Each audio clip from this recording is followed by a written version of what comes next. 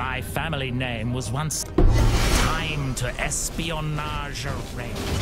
Espionage.